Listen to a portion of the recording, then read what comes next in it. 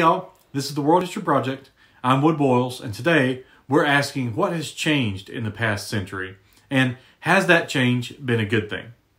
We've made it to the 1900s, which was marked by some pretty significant events.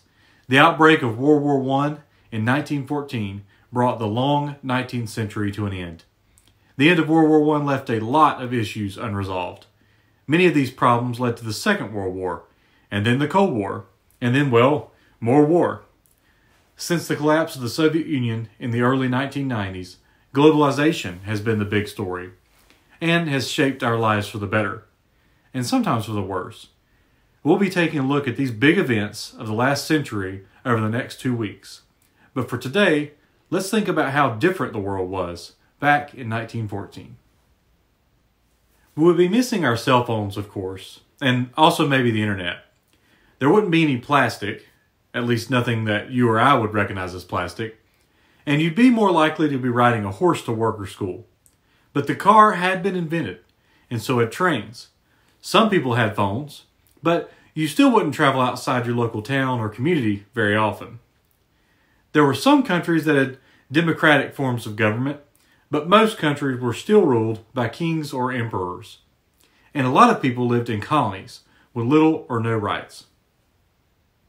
There were less large stores. Most people either made what they needed or bought items from specialty artisans like blacksmiths or leather workers. A lot of people were also farmers. They grew their own food at home. My great grandmother's family were all sharecroppers and picked cotton on other people's farms. A lot of these jobs are still around, and uh, of course, they had lawyers, doctors, and bankers like we do today.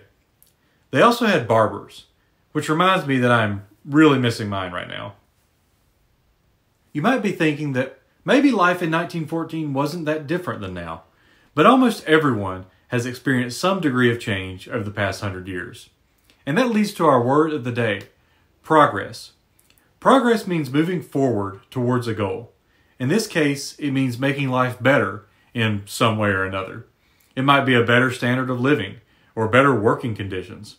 In the past, historians just assumed that things are getting better for all of us.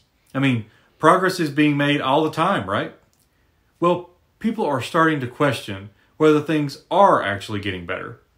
As we progress through Era 7, I'm going to challenge you to decide for yourself on whether or not you think we are making progress.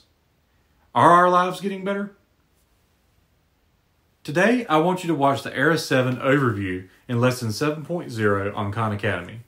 As you watch, Think about whether or not we've made progress in the last hundred years, and if that progress has been for the better or the worse.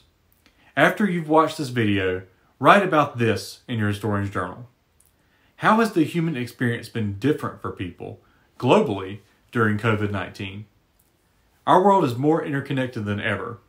How has a global pandemic like COVID revealed to us how similar and how different our lives are? I'm thinking about how we all access resources differently.